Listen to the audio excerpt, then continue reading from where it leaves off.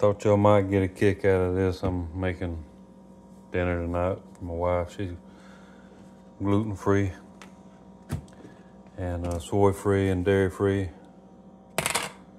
So I got my marinated chicken here and I'm gonna pour that in here and I got me some coconut cream and I got me some Giorgio sliced mushrooms. Okay, now what I'm gonna do first, I'm gonna pour the juice out of here. I'm gonna pour this in there. I'm gonna put some coconut cream in there. I'm gonna put my chicken in there. I'm gonna put some salt in there, my seasoning, my onion powder, Italian seasoning, and garlic powder.